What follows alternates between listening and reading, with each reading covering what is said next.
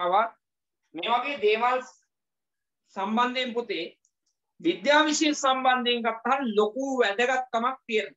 ඉතින් ඒ නිසා පරිසරයේ සම්බන්ධයෙන් තියෙන තොරතුරු එකතු කරගන්න ඒවා චුට්ටක් බලන්න ඒ වගේ දේවල් අපට ගොඩක් වැදගත් වෙනවා.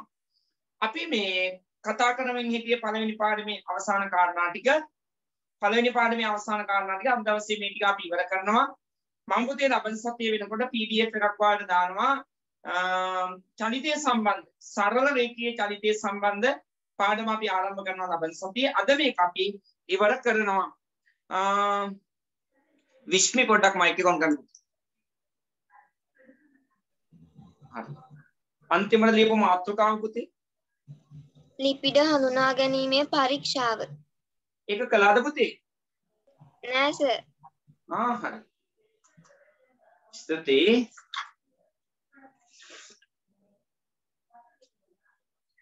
මෙන්න මේ කාරණා ටික අපි උගන්වලා ඉවර කරගත්තේ මතකද කියලා බලන්න. මානවදීය ගත්තාම අපි මෙතෙන්දි ප්‍රධාන විදියට කතා කළේ පුතේ ජීවීය රසායනික පදනම තමයි පාඩම. අපි මේකෙදි කතා කළේ අපේ මේ මානව දේහයේ අන්තර්ගත ප්‍රධාන මූලද්‍රව්‍ය මොනවද කියලා. ඒ වගේම ප්‍රධාන මූලද්‍රව්‍ය එකතු වෙලා ප්‍රධාන මූලද්‍රව්‍ය එකතු වෙලා හැදිලා තියෙන සංයෝග වශයෙන් අපේ දේහය තුල තියෙන රසායනික සංයෝග මොනවද කියන කාරණා පිළිබඳවත් අපි පහුගිය දවස්වල පුතේ කතා කළා. එතකොට අපේ මේ දේහය ගත්තාම මේ මානව දේහය සැදුම්ලත් වෙන ප්‍රධාන මූලද්‍රව්‍ය හතරයි CHON කාබන් හයිඩ්‍රජන් ඔක්සිජන් සහ නයිට්‍රජන් CHON ප්‍රධාන මූලද්‍රව්‍ය හතරයි. මේ ප්‍රධාන මූලද්‍රව්‍ය ඒවා ස්කන්ධ ප්‍රතිශතය ගත්තාම ප්‍රධාන මූලද්‍රව්‍ය හතරයි පුතේ. අපි ඒවා ස්කන්ධ ප්‍රතිශතය ගත්තාම වැඩිම ප්‍රතිශතයක් අන්තර්ගත වෙන්නේ ඔක්සිජන් මූලද්‍රව්‍යයක් විදිහට පුතේ වැඩිම ප්‍රතිශතයක් අඩංගු වෙන්නේ ඔක්සිජන් 65ක් අන්තර්ගත වෙනවා. ඊට පස්සේ අපි කාබන් ගත්තාම කාබන් කියන මූලද්‍රව්‍ය 18ක් අන්තර්ගත වෙනවා. ඊළඟ හයිඩ්‍රජන් 10ක් අන්තර්ගත වෙනවා. නයිට්‍රජන් 3ක් අන්තර්ගත වෙනවා. අපේ දේහය තුල වැඩිම ප්‍රතිශතයක් පුතේ තියෙන්නේ ඔක්සිජන් කාබන් තමයි 18ක් හයිඩ්‍රජන් 10යි නයිට්‍රජන් 3යි වෙනත් කියන මූලද්‍රව්‍ය වෙනත් මූලද්‍රව්‍ය සේන හතරක ප්‍රමාණයක් අන්තර්ගත වෙනවා. සේන හතරක ප්‍රමාණයක් අන්තර්ගත වෙනවා. මේ වෙනත් මූලද්‍රව්‍ය විදිහට මම ඔයාලට කීපයක් දුන්නා. පොටෑසියම් ඊළඟට මැග්නීසියම් යකඩ ක්ලෝරීන් පුතේ මේ විදිහට පොටෑසියම් ඊළඟ calcium magnesium iron chlorine phosphorus sodium ඒ වගේ ඒවා දුන්නා. ෆොස්ෆරස් සෝඩියම් මේ වගේ ප්‍රධාන මූලද්‍රව්‍ය වලට අමතරව අපේ දේහය තුළ අන්තර්ගත මූලද්‍රව්‍ය ටිකකුත් මම ඔයාට එහෙනම් සජීව පදාර්ථය අපේ මේ දේහය ගත්තාම දේහය තුළ පුතේ අන්තර්ගත ප්‍රධාන මූලද්‍රව්‍ය මෙන්න මේ ටික ඊළඟට අපේ දේහය තුළ අන්තර්ගත රසායනික සංයෝග සංයෝග ගත්තාම වර්ග දෙකයි. අපේ දේහය තුළ අන්තර්ගත සංයෝග. සංයෝග කියන්නේ මූලද්‍රව්‍ය එකතු වෙලා හැදලා තියෙන සංයෝග. සංයෝග ප්‍රධාන ආකාර දෙකයි. කාබනික සංයෝග ඉන්නවා. ඒ කියන්නේ කාබන් අඩංගු සංයෝග. අකාබනික සංයෝග ඉන්නවා. ඒ කියන්නේ කාබන් නැති. අකාබනික සංයෝගය කියන්නේ කාබන් නැති. ඔන්න ඔය විදිහට අපි සම්පූර්ණයෙන් වර්ගීකරණයක් කතා කළා. මම හිතන විදිහට පන්ති හිටපු දරුවන් මේ දේවල් මේ වෙනකොට පාඩම් ඇති කියලා මම විශ්වාස කරනවා. පාඩම් ඇති කියලා මම විශ්වාස කරනවා. හරි. බලමු කාබනික සංයෝග ගත්තාම පුතේ ප්‍රධාන විදිහට කාබෝහයිඩ්‍රේට් කාබෝහයිඩ්‍රේට් ප්‍රෝටීන් ලිපිඩ නියුක්ලික් අම්ල මම මේ වේගෙ වේගෙ දැනෙන උගන්ලා ඉවර නිසා නියුක්ලික් අම්ල මෙන්න පුතේ අපේ දේහය තුල අන්තර්ගත ප්‍රධාන කාබනික සංයෝග. ප්‍රධාන කාබනික සංයෝග වර්ග හතරක් දැන් ඔයාලට පේනවා. කාබෝහයිඩ්‍රේට් ප්‍රෝටීන් ලිපිඩ නියුක්ලික් අම්ල ප්‍රධාන සංයෝග හතර මේ හතර දෙනාට පොදුවේ පුතේ අපි කියනවා ජෛව අණු කියලා. පොදුවේ කියනවා ජෛව අණු කියලා. මේ ප්‍රධාන හතරට අමතරව අපේ දේහය තුළ අන්තර්ගත තවත් කාබනික සංයෝගයක් තමයි විටමින් කියන වර්ග. විටමින්.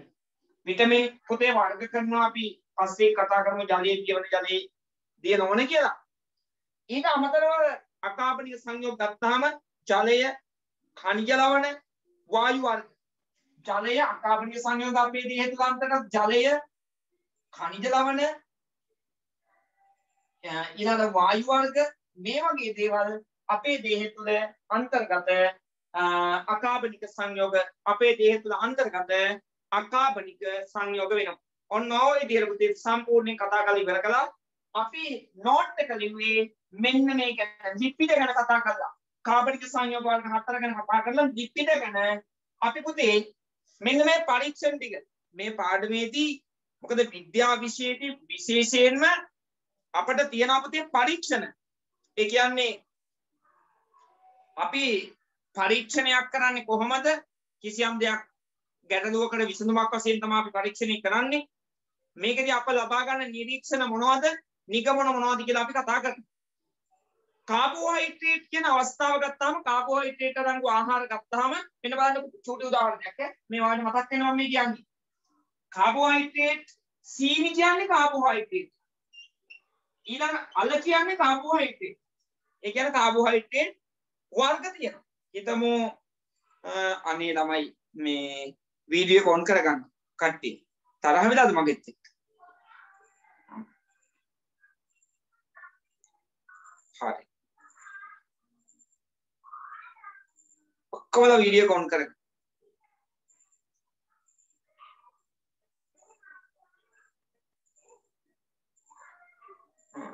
කරන්ට් එක නැති දරුවෝ කීප දෙනෙකුත් ඉන්නවා අද දවසේ. මොකද කරන්ට් කපනවා දැන් ලංකාවෙත් නේද? තෙල් සම්බන්ධ අර්බුදයක් නිසා. අද දවසේ ක්ලාස් කරද්දි මට ගැටලුවක් ආවා. ඉතින් ඒක සාමාන්‍ය දෙයක්. දැන් මම හිතන්නේ ඉස්සරහට දිනපතාම පැයකමාරක් දෙකක් කරන් කපාවි හවසට. එක් එක් ප්‍රදේශවල දවසටම කපනවා නේද? හ්ම්.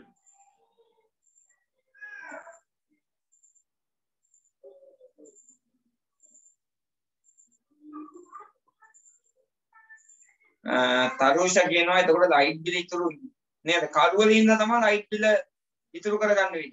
එහෙනම් ලයිට් ඔෆ් කරගෙන ඉන්න?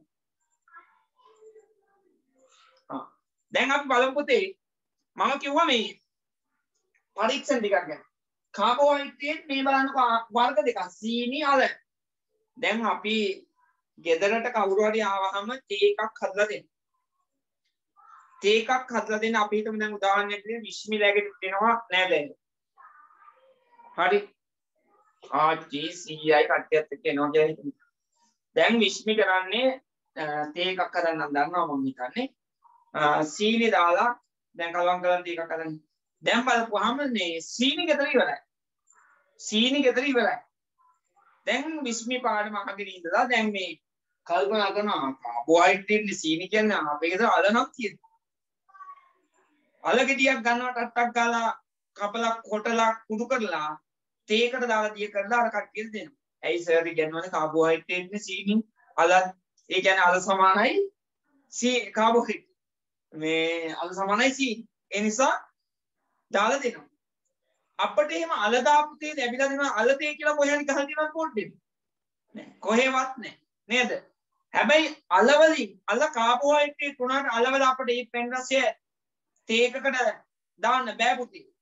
අපි එතකොට මේකෙන් පැහැදිලිව මේකෙන් පැහැදිලිව පුතේ අපිට පේනවා කාබෝහයිඩ්‍රේට් ඒ ජීවයේ ස්වභාවය අනුව ඒවා වෙනස් වෙනවා. ඒවා වෙනස් වෙනවා. ඒවා අපි සම්පූර්ණයෙන් කතා කරලා ඉවර කළා. ඒ අනුව කාබෝහයිඩ්‍රේට් අපි හඳුනාගත්තා. අපි ඉස්සෙල්ලාම පිෂ්ඨය හඳුනා ගැනීම පරීක්ෂාව කළා. පිෂ්ඨය හඳුනා ගැනීම පරීක්ෂාව කවුරු හරි එක්කෙනෙක් අතොත් සම්දුක පිෂ්ඨය පරීක්ෂණයේ මතකෙක් කියන වීඩියෝ ඔන් කරන් ඉන්න කෙනෙක්. කවුරු හරි. මතකයි නම් පමණක්.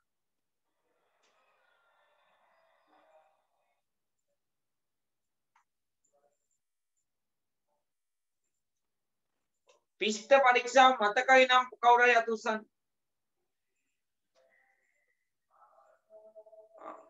ඉස්සුරු ඉන්නවා. ඉස්සුරු. කෝ ඔන් කරන්න ඕනේ ඉතින්. මට පේනවා කට්ටිය දාගෙන පොත් පෙන්නනවා මම කාගෙන්වත් අහන්නේ ආ. පුතේ පිෂ්ඨ පරීක්ෂාවේදී අපි කළේ පිෂ්ඨය බීකරයකට ද්‍රාවණයක් අරගෙන. පිෂ්ඨයේ ද්‍රාවණයක් අරගෙන ජලයේ දිය කරලා කියන්න පුළුවන් කෙනෙක් ඉන්නව නම් මම අවස්ථාව දෙනවා යාට පිෂ්ඨ පරීක්ෂා විස්තර කරන්න. කැමති නම් පමණක් එයාට පුළුවන් මට අවස්ථාව දෙන්න.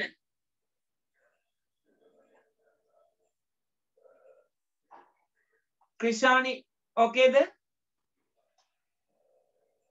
බලමු. හරි. මයික ඔන් කරන්න පුතේ? කියන්න පුතේ. ඉස්සෙල්ලාම කරන්න ඕනේ පෘෂ්ඨය සහිත ජලීය ද්‍රාවණයක් ගන්න එක.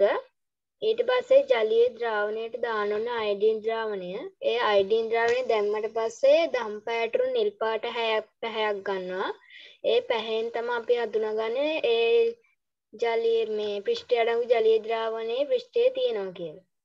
ඕ very good very good හරි. ඔන්න පිෂ්ඨ පරීක්ෂාව හරි.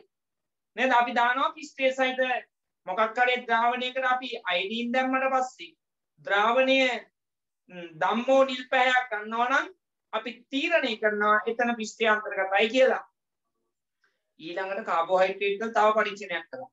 සුක්‍රෝස් හඳුනා ගැනීමේ පරීක්ෂාව කළා.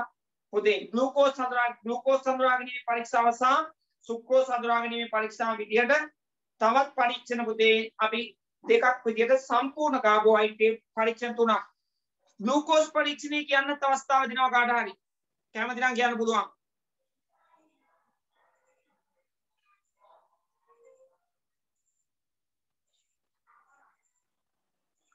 කවුද අවස්ථාව ලබා ගන්නේ?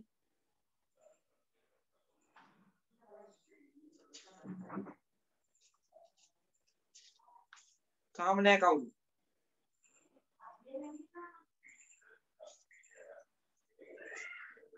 ආ හරි. විශ්මි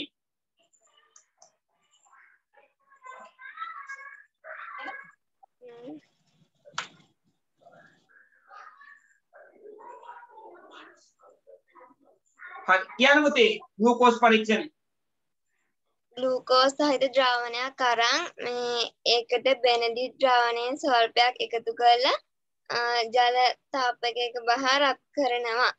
එතකොට මේ වර්ණ විපර්යාසයක් ලැබෙනවා. නිල්, කොළ, කොළ කහු, තැඹිලි, ගඩු රතු අවක්ෂේපයක්. ඒකෙන් ග්ලූකෝස් තියනවා කියලා හඳුනා ගන්නවා. අන්න හරි. ආ very good. very good. ඉගෙන හොඳට පාඩම් කරලා තියෙනවා නේද? good.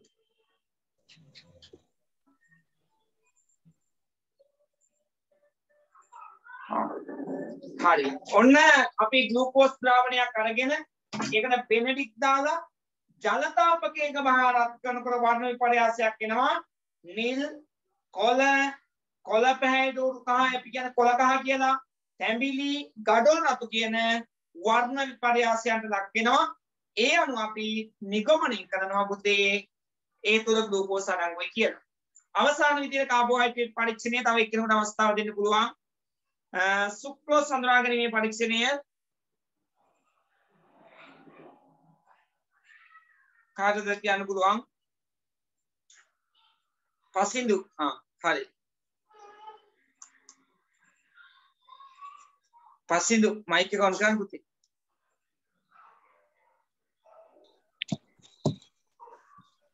සර් ඔව් කියන්නේ සුක්‍රෝස් පරීක්ෂාව. සර් මං ඒ පරීක්ෂණය ලියාගෙන නෑද? ආ ආ ලියාගෙන බයත කරයිද නේද? හරි. තව කාටද අවස්ථාව දෙන්න පුළුවන් හරි. අපි ඒකෙදි මතක තියාගන්න පොතේ වෙලාව මදි නිසා මම ඉක්මනට කියන්නම් මේ අපි සීනි ද්‍රාවණයක් අරගෙන සල්ෆූරික් අම්ල බිඳුවක් දාලා අපි ඒක තමයි රත් කරන්නේ. ඊට පස්සේ තමයි අපි බෙනඩික් දාන්නේ. එතකොට අර කලින් වගේ මම මේ පරයාසි නිල් කොළ කොළ කහ තැඹිලි ගඩොල් රතු කියන වර්ණ විපර්යාසි එයම අපි. ඊළඟ තව පරීක්ෂණයක් කළා. හතරවෙනි පරීක්ෂණය ප්‍රෝටීන් පරීක්ෂණය. ප්‍රෝටීන් කියන්නේ බයෝරේට් පරීක්ෂාව කියලා අපි ওই නම කියනවා. ප්‍රෝටීන් අඩංගු ආහාර ටිකක් තමයි අපි ගන්නෙ. පරිප්පු නැත්තම් බිත්තර සුදු මදේ කුඩු කරලා ජලය සහිත ද්‍රාවණයක් හදා ගන්නවා ඒකට අපි සෝඩියම් හයිඩ්‍රොක්සයිඩ් මෙන්න මෙහෙමයි පුතේ හරියට මොකක් කියන්න ඕනේ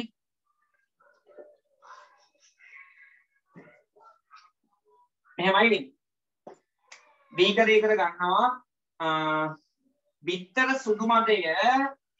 බිත්තර සුදු මදය පුතේ නැත්තම් අපි පණික්කු කුඩු කරලා කුඩු කරලා වතුරේ දිය කරලා හදා ගන්නවා ද්‍රාවණය මේකේ 2 ml කියලා හිතමුකෝ තියෙන්නේ අපි මේකට සෝඩියම් හයිඩ්‍රොක්සයිඩ් සෝඩියම් හයිඩ්‍රොක්සයිඩ් කියන්නේ සූත්‍රේ නම් NaOH සෝඩියම් හයිඩ්‍රොක්සයිඩ් මේ තියෙන ප්‍රමාණයට වඩා වැඩි පරිමාණයක් දාන්න 2 ml ට වඩා වැඩි. ඒ කියන්නේ අපි 3 ml වගේ මේකට මේවා එකතු කරමු.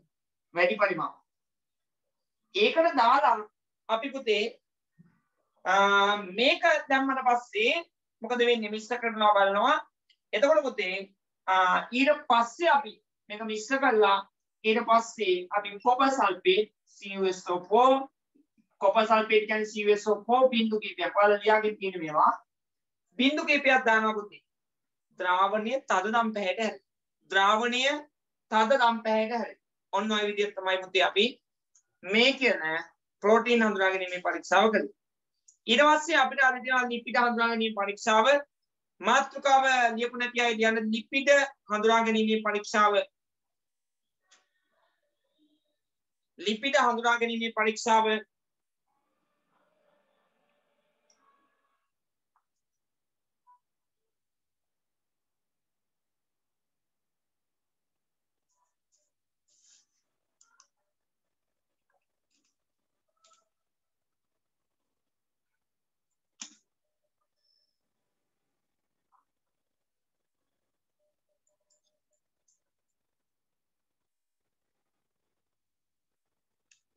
පුතේ ලිපිඩ හඳුනා ගැනීම පරීක්ෂාව.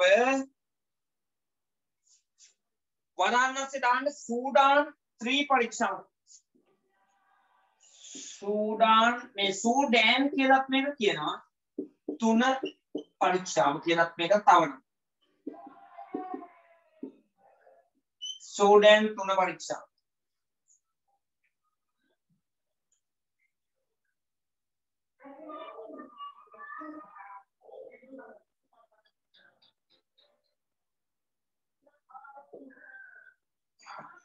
ලිපිඩ හඳුනා ගැනීම පරීක්ෂා වලහංසදාන් සූඩාන් 3 ඒ අර්ථ පුතේ ලියන්න ඉෂ්ටමාක්‍යයක් දාන්න. තල තෙල්ලෝ පොල් තෙල් තල තෙල්ලෝ පොල් තෙල් තල තෙල්ලෝ පොල් තෙල්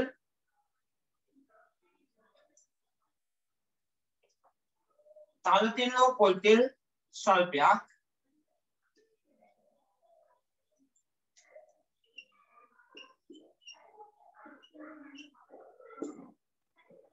තල තෙල්ලෝ පොල් තෙල් ස්වල්පයක් පරීක්ෂා නලයකට ගෙන පරීක්ෂා නලයකට ගෙන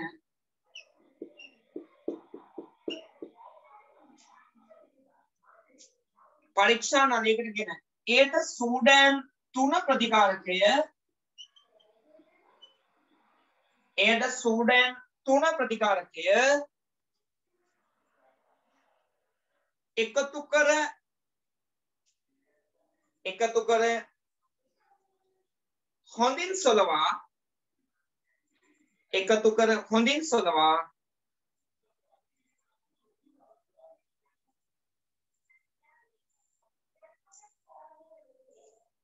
නිරීක්ෂණය කරන්න. නිරීක්ෂණය කරන්න.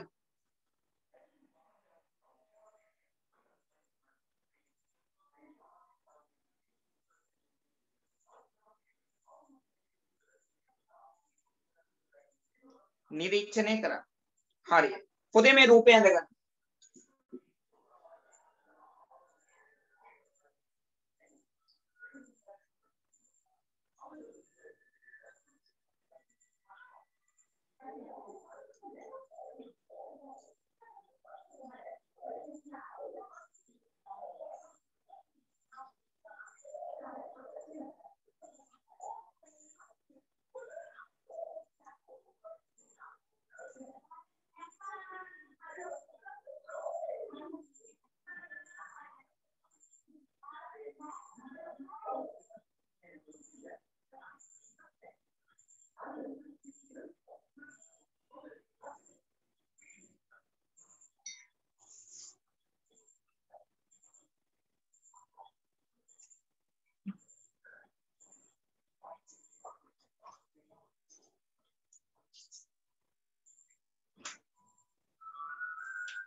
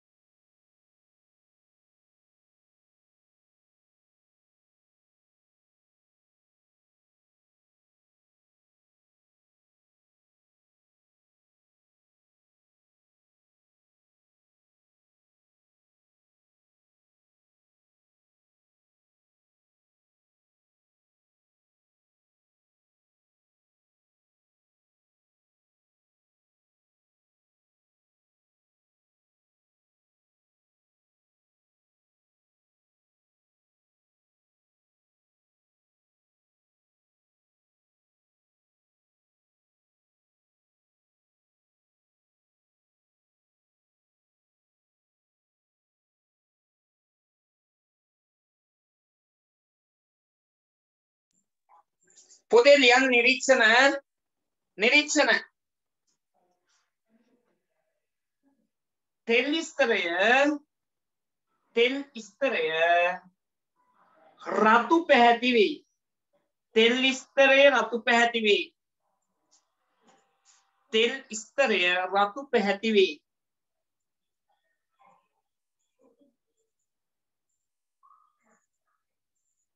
තෙල් ස්තරය රතු පැහැති වෙයි.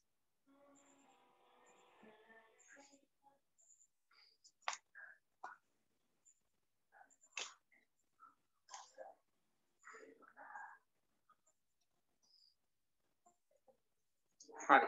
පොදේ ඔන්න අපිට සම්පූර්ණයෙන්ම ලිපිඩ සම්බන්ධයෙන් හරි ලිපිඩ මං චුට්ටක් මතක් කරන්නම් ලිපිඩ කිව්වහම ආකාර දෙකයි. ලිපිඩ ධන අවස්ථාවේදී අපි මේද කියලා කියන්නේ. රටකජු තල මාගරින් මේ වගේ ඒවා. ලිපිඩ ඝන අවස්ථාවේ. ඒ වගේම ලිපිඩ තියෙනවා ද්‍රව අවස්ථාවේ.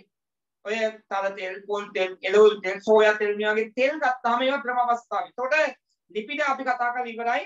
ඊළඟ පුතේ අපිට ජෛව අණු යටට නැත්තම් අපේ දේහය තුළ අන්තර්ගත ප්‍රධාන කාබනික සංයෝග වර්ග හතරයි. කාබෝහයිඩ්‍රේට් ප්‍රෝටීන් ලිපිඩ නියුක්ලික් අම්ල තව එකක් ඉතුරුලා තියෙනවා දාන්න පුතේ නියුක්ලික් අම්ල. නියුක්ලික් අම්ල.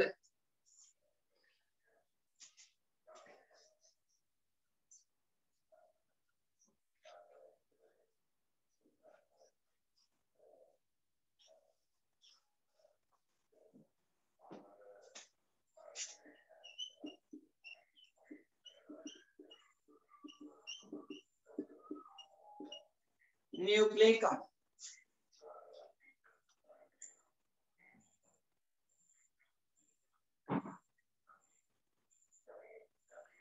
නියුක්ලික් අම්ල පොතේ මෙහෙමයි.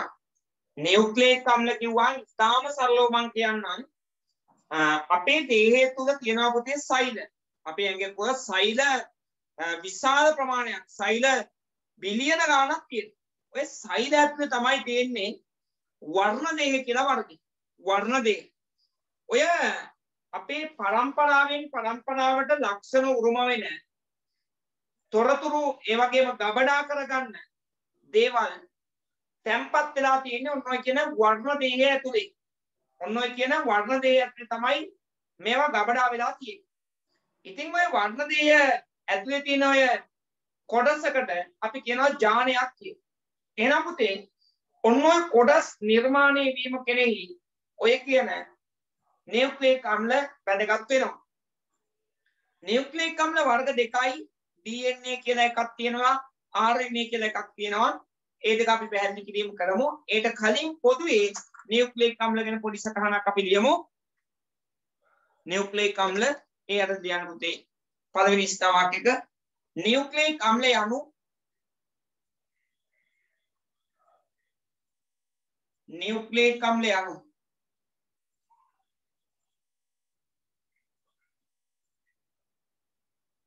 නියුක්ලික් අම්ල යනු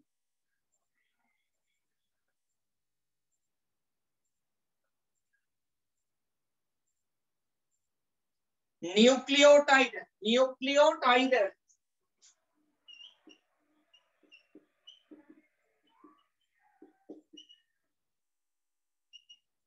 නියුක්ලියෝටයිඩ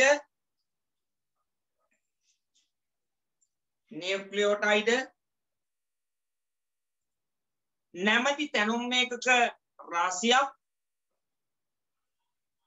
නැමැති තැනුම් එකක රාශියක්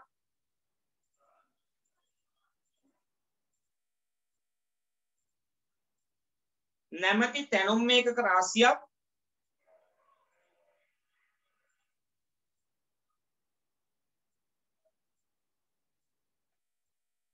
රේඛීයව සම්බන්ධ වීමෙන්.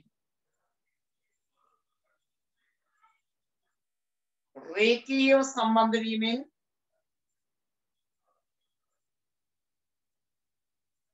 රේඛීයව සම්බන්ධ වීමෙන්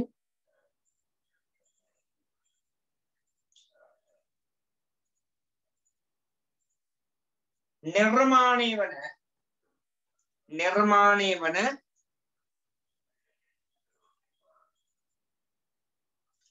ජෛව අනුකාණ්ඩයකි. නිර්මාණය වන ජෛව අනුකාණ්ඩයකි. නිර්මාණය වන ජෛව අනුකාණ්ඩයකි. ආයි මුලින් නම් බලන්ඩ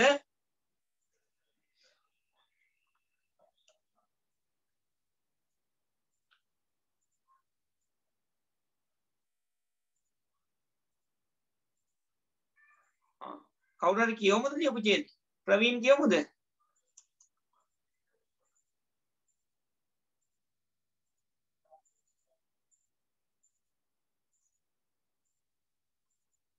ප්‍රශාන ඔයා කියමු පුතේ.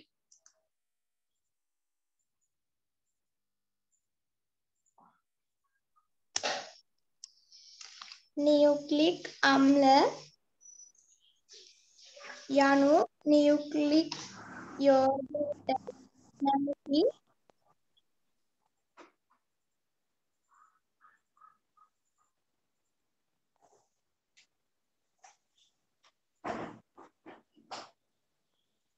ඕෆ් කරගෙන නේද මයික් එක ආ මයික ඔෆ් කරලා තායම් කරන්න බැරි වෙනවා හරි බලන්න පුතේ මම කියන්නම් ස්තුතියි නියුක්ලික් අම්ලය අනු නියුක්ලියෝටයිඩ් නැමැති තැනුම් මේකක රාශියක් රේඛීයව සම්බන්ධ වීමෙන් සෑදුණු ජෛව අණු කාණ්ඩි සෑදුණු ජෛව අණු කාණ්ඩි අනුමාත්‍රකාව. අනුමාත්‍රකාව. නියුක්ලික් වල නියුක්ලික් අම්ලවල ප්‍රධාන මූලද්‍රව්‍ය නියුක්ලික් අම්ලවල අඩංගු ප්‍රධාන මූලද්‍රව්‍ය නියුක්ලික් අම්ලවල අඩංගු ප්‍රධාන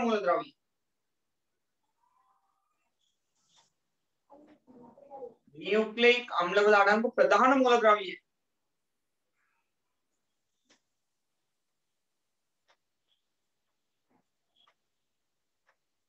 නියුක්ලික් අම්ලවල අඩංගු ප්‍රධාන මූලද්‍රව්‍ය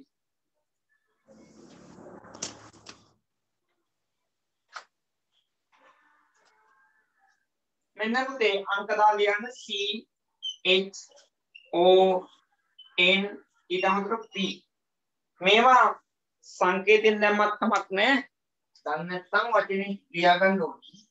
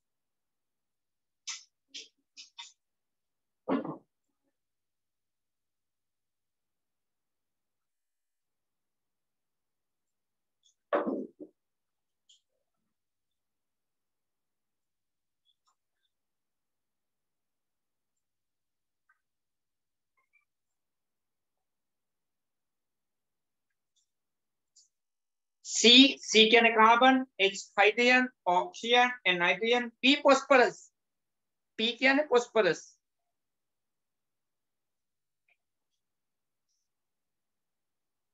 C H O N P. එතකොට ප්‍රධාන මූලද්‍රව්‍ය හතට අමතර phosphorus කියන එකත් මේකේ අන්තර්ගත වෙනවා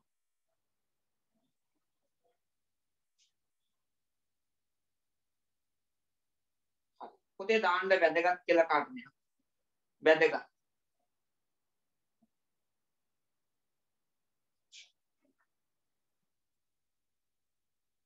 සෑම නියුක්ලියෝටයිඩයක්ම එතකොට පුතේ මෙහෙමයි නියුක්ලියේක් අම්ලය හැදෙන්නේ නියුක්ලියෝටයිඩ් කියන තැනුම් මේක කුඩා ඒවා.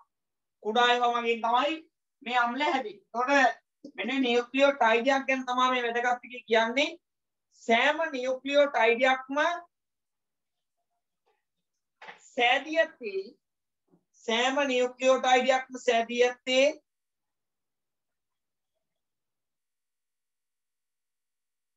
සංඝටක වර්ග තුනක් සංඝටක වර්ග තුනක්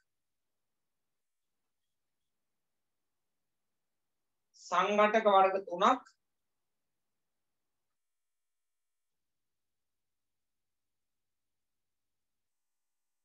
එකතු වීමෙන්නේ සංඝටක වර්ග තුනක් එකතු වීමෙන්.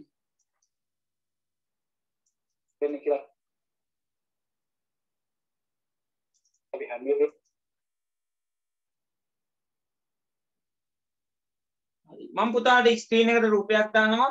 ඒක ඔතෙන්ට අඳින්න ඕනේ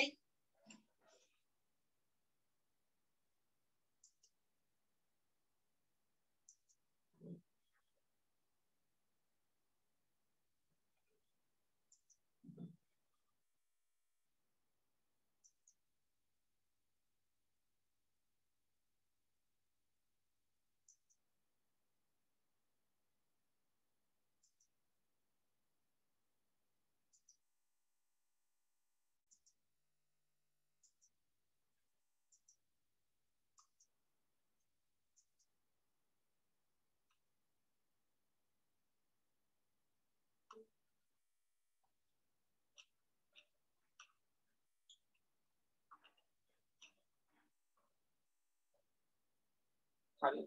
පුතේ මෙන්න මේ රූපය එකේ තුන කියලා රූපයක් තියෙන අන්න එක අඳිමු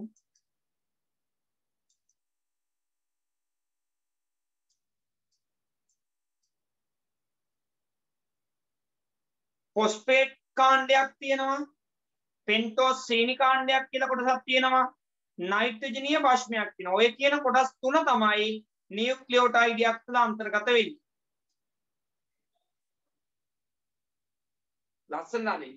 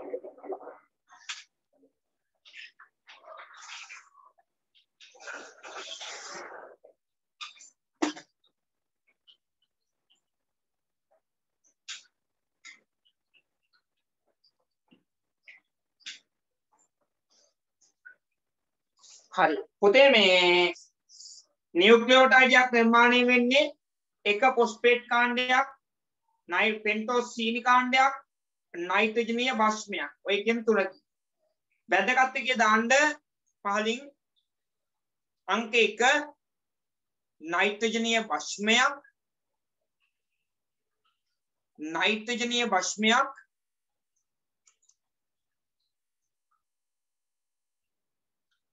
දෙක පෙන්ටෝස් සීනි කාණ්ඩයක්.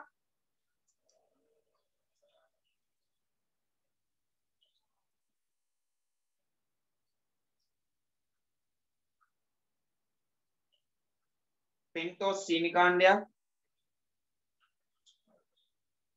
තුන පොස්පේට් කාණ්ඩයක්. පොස්පේට් කාණ්ඩයක්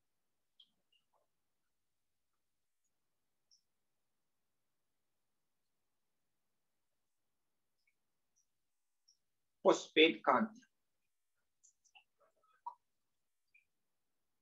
හරි දැන් වැදගත් එක කොටු කරගන්න.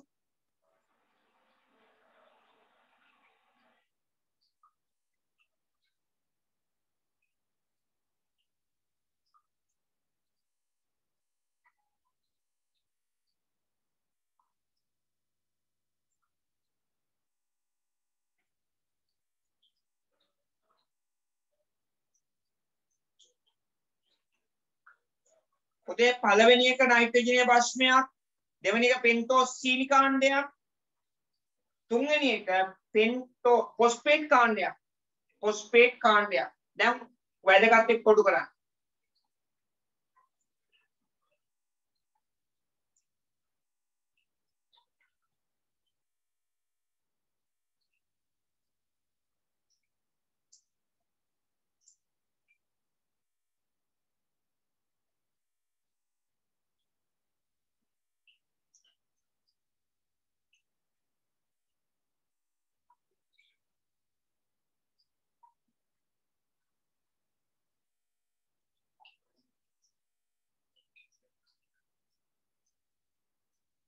හරි. පොතේ ඊළඟට දාන්න පහලින් ස්ටාමාක් එක නියුක්ලික් අම්ල ප්‍රධාන ආකාර දෙකකි. නියුක්ලික් අම්ල ප්‍රධාන ආකාර දෙකකි.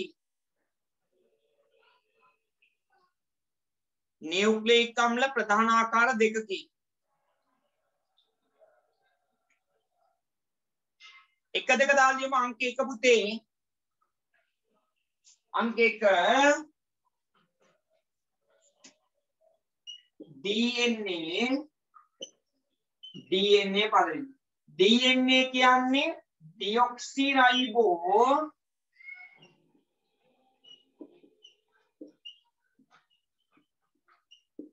Nucleic acid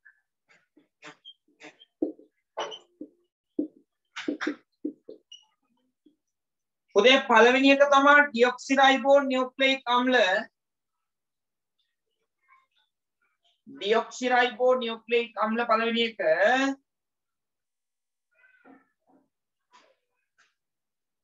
ඩියොක්සිරයිබෝ nucleic අම්ල. DNA කියන්නේ ඩියොක්සිරයිබෝ නියුක්ලික් අම්ල.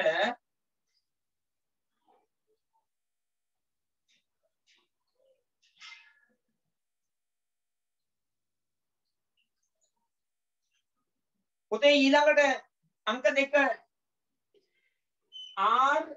RNA RNA රයිබෝ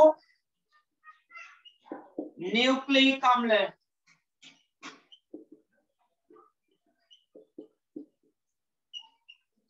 රයිබෝ නියුක්ලික් අම්ල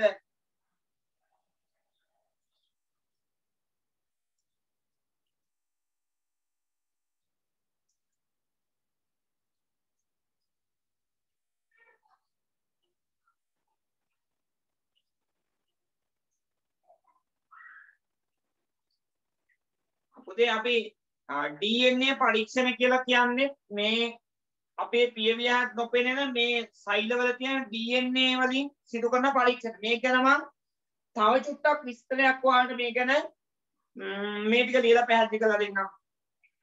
දැන් අනුමාත්‍රකාවක් දාන්න DNA. DNA. DNA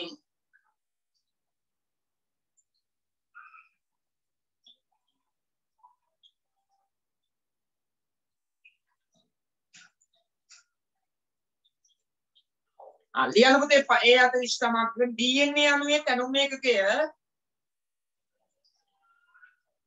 DNA අණුවේ තැනුම් ඒකකය DNA අණුවේ තැනුම් ඒකකය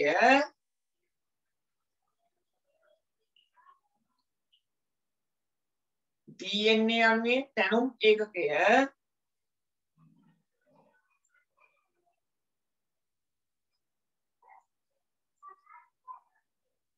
ඩියොක්සිරයිබෝ නියුක්ලියෝටයිඩය ඩියොක්සිරයිබෝ ඩියොක්සිරයිබෝ නියුක්ලියෝටයිඩයි කියලා දාන්න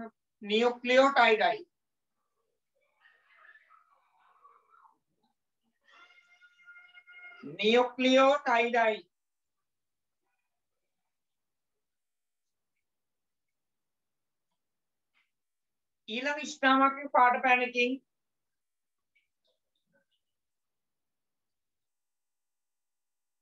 න්‍යෂ්ටිය තුළ ඇති න්‍යෂ්ටිය තුළ ඇති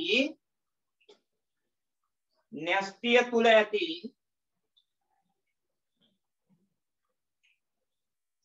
DNA අණුවේ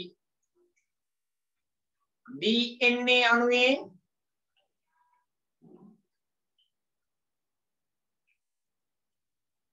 DNA අණුවේ ප්‍රවේණික තොරතුරු ප්‍රවේණික තොරතුරු ප්‍රවේණික තොරතුරු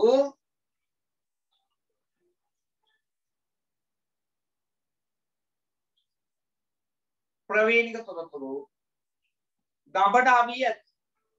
ප්‍රවේණික තොරතුරු ගබඩා වී ඇත.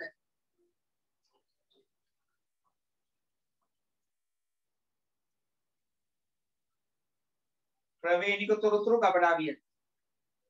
මේ සම්බන්ධයෙන් මම ඉස්සරහට විස්තර කරනවා. ඔය ප්‍රවේණික තොරතුරු කියන්නේ පරම්පරාවෙන් පරම්පරාවට යන තොරතුරු ලක්ෂණ තමයි ඔක ගබඩා වෙන්නේ. ඊළඟට පුතේ බලන්න RNA කියලා දාන්න අනුමාත්‍රකාව RNA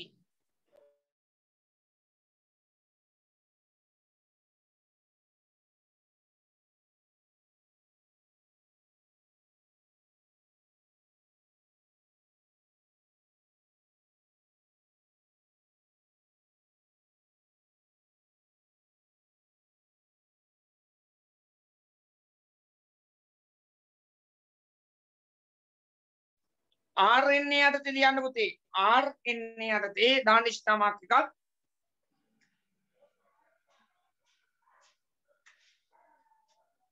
RNA අණුවේ තැනුම් ඒකකය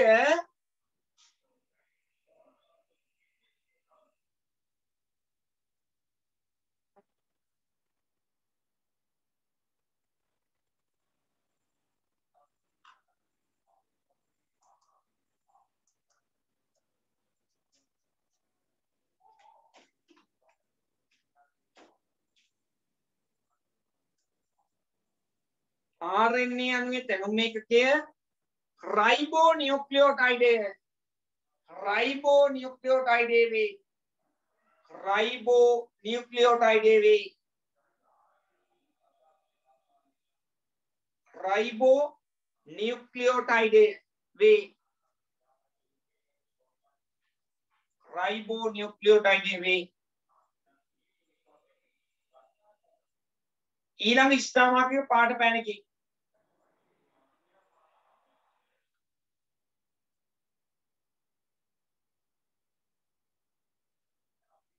RNA RNA ප්‍රෝටීන් සංශ්ලේෂණ ක්‍රියාවලියේදී සංශ්ලේෂණය කරනවා කියන පුතේ නිපදවනවා. RNA ප්‍රෝටීන් සංශ්ලේෂණ ක්‍රියාවලියේදී ප්‍රෝටීන් සංශ්ලේෂණ ක්‍රියාවලියේදී ප්‍රෝටීන් සංශ්ලේෂණ ක්‍රියාවලියේදී ප්‍රෝටීන් සංශ්ලේෂණ ක්‍රියාවලියේදී වැදගත් කෘත්‍යයක් ඉටු කරයි. වැදගත් කෘත්‍යයක් ඉටු කරයි. වැදගත් කෘත්‍යයක් ඉටු කරයි.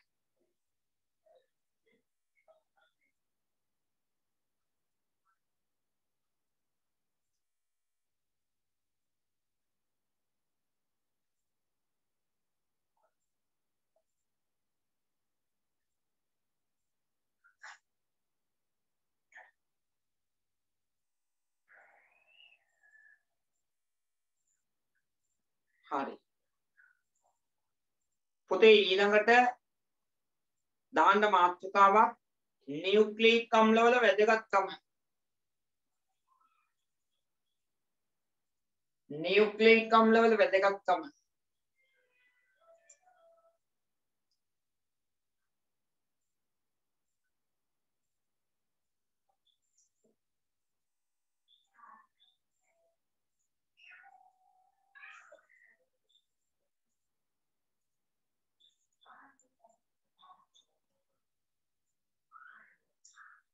නියුක්ලික් අම්ලවල වැදගත්කම? දාන්න පුතේ ඒ අර්ථයේ අංක දාලා කාරණා කීපයක් අංක 1 ජීවීන්ගේ ප්‍රවේණික තොරතුරු ගබඩා කිරීම සඳහා ජීවීන්ගේ ප්‍රවේණික තොරතුරු ගබඩා කිරීම සඳහා ජීවීන්ගේ ප්‍රවේණික තොරතුරු ගබඩා කිරීම සඳහා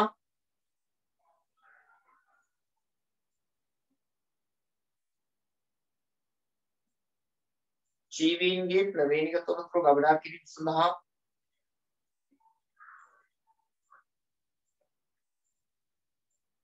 අංක දෙක.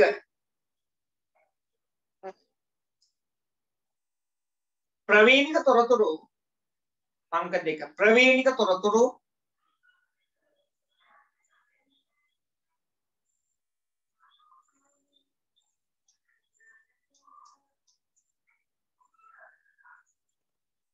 පරම්පරාවෙන් පරම්පරාවට පරම්පරාවෙන් පරම්පරාවට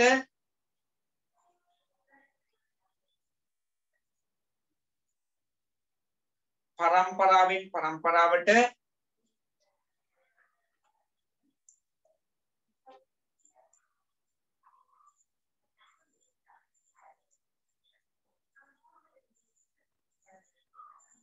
පරම්පරාවෙන් පරම්පරාවට සම්ප්‍රේෂණය කිරීම සඳහා.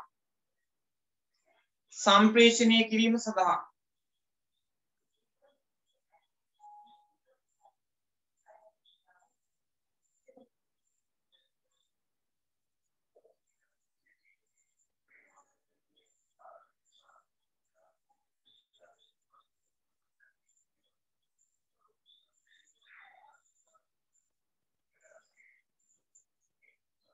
අංක තුන.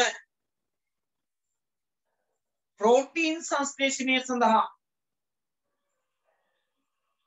ප්‍රෝටීන් සංශ්ලේෂණය සඳහා.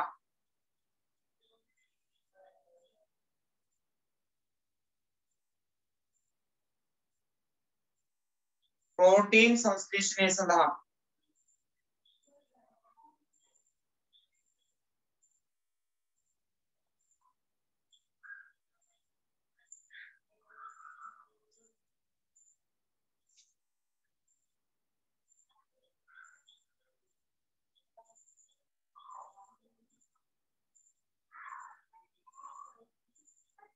පොතේ ඊළඟ කාරණය DNA අණු විකෘති වලට ලක්වීමෙන් DNA අණු විකෘති වලට ලක්වීමෙන්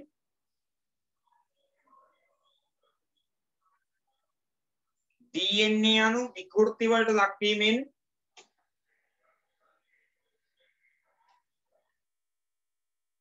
DNA අණු විකෘති වලට ලක්වීමෙන්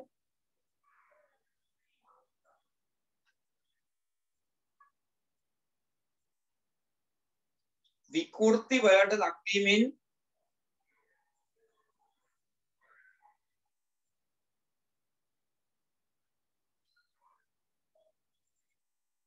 සිදුවන වෙනස්කම් නිසා සිදුවන වෙනස්කම් නිසා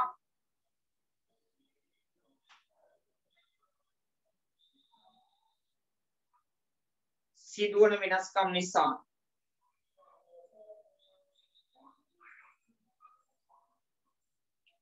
ප්‍රබේදන ප්‍රබේදන ප්‍රබේදන ඇතිවේ. ප්‍රබේදන ඇතිවේ.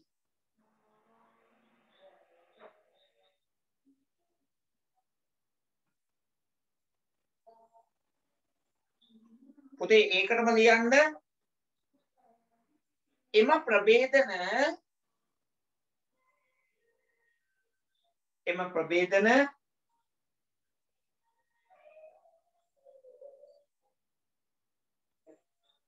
ජීවීන්ගේ පරිණාමය සඳහා ඉතා වැදගත් වේ. ජීවීන්ගේ පරිණාමය සඳහා ඉතා වැදගත් වේ. ජීවීන්ගේ පරිණාමය සඳහා ඉතා වැදගත් වේ.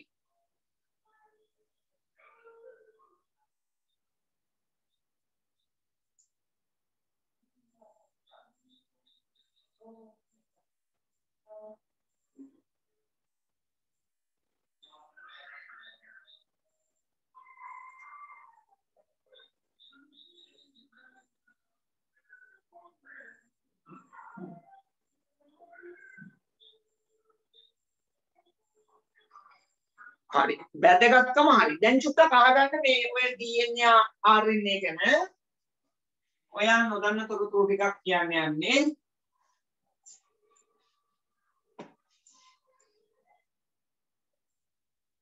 හරි. පොතේ චුට්ට මාතෘකාව ලියාගෙන ඉන්න. ඊළඟ මාතෘකාව ලියාගෙන මම මේක පැහැදිලි කරන්නම්. මාතෘකාව ලියන්න ක්‍රියාකාරකම ක්‍රියාකාරකම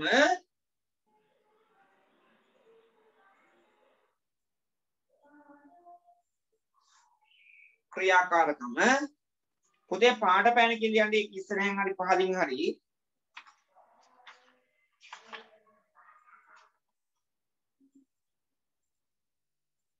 ආහාරයේ සංඝටකයක් ලෙස ආහාරයේ සංඝටකයක් ලෙස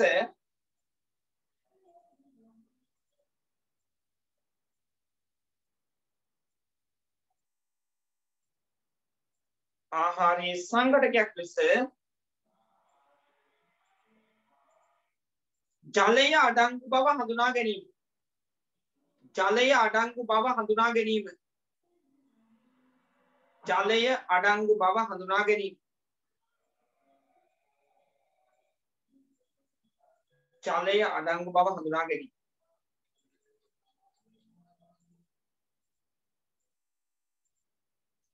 හරි. දැන් පුතේ අපි ගත්තාම මේ හොඳට බලාගන්න මේ DNA RNA පින්න විදිය සෛලයක් ගත්තාම සෛලයක් කියන එකක් අපිට පියවියාට පේන්නේ නැහැ. ආලෝකන්නීක්‍යයක් සෛලයක දැක ගන්න පුළුවන් වෙන ඉන්ද්‍රිකා කීපයක් පමණයි.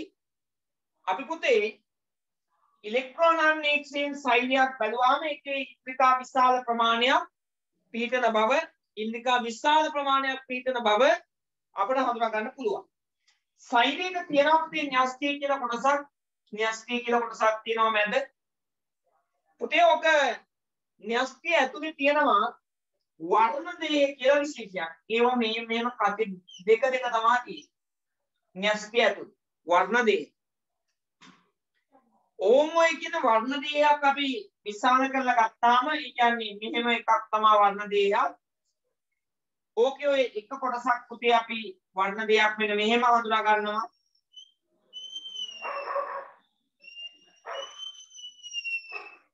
මෙන්න මේ විදිහේ view එකක් තමයි ඔය එකක් අපි ගත්තොත් වර්ණ දෙයක් මේ වර්ණ දෙයක් ඇතුලේ තමයි මේක ඇතුලේ තමයි පුතේ DNA එහෙම නැත්නම් RNA තියෙන්නේ. ඒක පිටන්නේ මෙහෙමයි.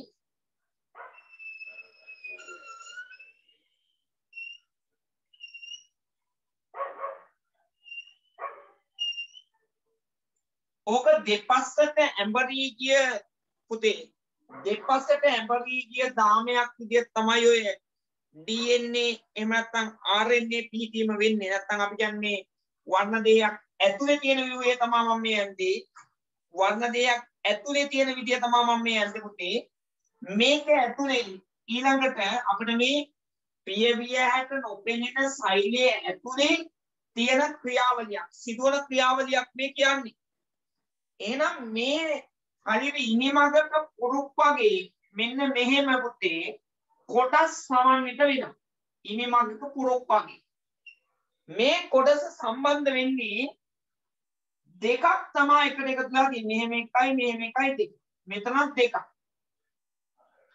දැන් ඔයාලා කල්පනා කරනවා ඇති මේ මොනවද දෙකක්ද මේ තියෙන්නේ. මෙහෙම හැම එකකම හැම පුරුකම මෙහෙම දෙකක් සම්බන්ධ වෙන. ඕවට අපි කියන්න පුතේ භෂ්ම කියලා. ඔය මේ කෑලි වලට කියන්නේ අපි භෂ්ම. භෂ්ම යුගලක් තියෙනවා එක කොටස. භෂ්ම යුගලක්. ඔය භෂ්ම පුතේ වර්ග හතරක් තියෙනවා ඒ එකක දෙකයි තියෙන්නේ AT GC කියලා භෂ්ම හතරක්. ඔයාලා මේ ටික මම මේ දැන් කියා දෙන්න ටික අමතක දැනුණා. මේ කණින් අහලා මේකෙන් අයින් කරලා දැම්ම ප්‍රශ්නයක් නෑ. මොකද දැනගන්න ඕනි මොනවද මේ DNA කියන්නේ කියලා. එතකොට බලන්නකෝ විද්‍යාවේ පරීක්ෂණ වලදී DNA පරීක්ෂණ මේ ඉතාම ශුද්‍ර වස්තුවක් ගැන තමයි පරීක්ෂා කරන්නේ. එහෙනම් මේවා ATGC මෙතන හැම එකකම මෙහෙම භස්ම දෙකක් මේ හතරෙන් AT GC AT GC ආදී වශයෙන් භස්ම දෙකක් පුතේ හැමතිස්සම පිහිටීමෙන් තමයි මේක සැදුම්ලක් වෙන්නේ. එතකොට මේකෙන් කෑල්ලක් අපි ගත්තොත් මෙන්න මෙහෙම වෙන් කරගත්තු කොටසක් අපි ගත්තොත් මේකද අපි කියන්නේ ජානයක් කියලා. ඔය කොටසකට අපි කියන්නේ ජානයක් කියලා. මේ කොටස මත ඔය භස්ම යුගල්වල පිහිටීම ඔය භස්ම යුගල්වල පිහිටීම පදනම් කරගෙන තමා කෙනෙකු උසද මහතද සුදුද කළුද කොණ්ඩෙ කේල්ද නැත්නම් කොණ්ඩේ බොකුටු ගහිලාද? කන් දෙක කොහොමද? ඇඟිලිවල ස්වභාවය කොහොමද? හිනහ වෙනකොට මූණ වල ගැහෙනවද? මේ කාරණා ඔක්කොම තීරණය වෙන්නේ ඔක්කොම තීරණය වෙන්නේ මේ සාධකන්න දැන් මෙතන ඔක්කොටම පුළුවන් නම් වීඩියෝ කොන් කරන්න. විවිධත්වයක් කියලා එකක් තියෙනවා. කවුරුත් මෙතන එක වගේ අය නැහැ. කවුරුත් මෙතන එක වගේ අය නැහැ. හැමෝගම කොණ්ඩේ එක වගේත් නැහැ නේද? බැලූ බැලමට වෙන හැමෝගම කොණ්ඩේ එක වගේත් නැහැ එහෙනම් ඔයාලට ඔය ලක්ෂණ ලැබිලා තියෙන්නේ ඔයාලා කොහොම වෙලා තියෙන්නේ? මෙන්න මේ කියන පුතේ ඥානයේ මේ කියන පිහිටීම. භස්ම යුගල්වල පිහිටීම අනුව. මේවා වෙනස් කරලා විවිධ නිෂ්පාදන වෛද්‍ය විද්‍යාවේ සිදු කරනවා. මේවා වෙනස් කළා. ඒවා ගැන මම ඉස්සරහදී කතා කරන්නම්. අපිට මේ සම්බන්ධයෙන් සම්පූර්ණ පාඩමක් 10 ඉස්සරහදී හම්බ වෙනවා. දැන්ට චුට්ටක් ওই ටික මතක තියාගත්තා නම් හොඳටම ප්‍රමාණවත්. එතකොට ලබන සතිය වෙනකොට මම පුතාලට දානවා දෙවනි පාඩමේ PDF එක සරල රේඛීය චලිතයේ මං හිතන්නේ ඒකේ පිටු ගණන් චුට්ටක් වැඩි පුතේ පිටු මං හිතන්නේ 15ක් විතර වගේ ප්‍රමාණයක් තියෙනවා ලොකු පාඩමක් හැමෝම PDF එක print out ගන්න මම ඒක හෙට වෙනකොට ඔයාලට හෙට අනිද්දා වෙනකොට දානවා ලබන සතිය වෙනකොට හැමෝම PDF එක print out ගන්න. මොකද ඒකේ PDF එක නැතුව පාඩම කරන්න බෑ. ප්‍රස්තාරේ මාදින්න තියෙනවා. ඒවට මම ලස්සනට ඉඳ තියලා තියෙනවා. ඒ නිසා සියලු දෙනාම PDF එක print out ගත යුතුයි පුතේ. එහෙම නැති වුණොත් නෝට් ලියලා එහෙම කරන්න බෑ. මේක ජීව විද්‍යාව පාඩමක්. මේකේ තියෙන ක්‍රියාකාරකම් ප්‍රමාණය වැඩි. ඒ නිසායි මේ පාඩම ලියලා කරේ. මේකේ තව ක්‍රියාකාරකම් අපිට තුනක් විතර කරන්න තියෙනවා. අපි පුතේ මේකේ ඉතුරු කොටස ලබන සතිය වෙනකොට අපිට ඉවර කරන්න පුළුවන්. අලුත් පාඩම ඊළඟ දවසේ පටන් ගන්නවා. හැමෝම සම්බන්ධ වෙන්න ඕන. එහෙනම් හැමෝටම ආයිබෝවන් සුබ දවසක්.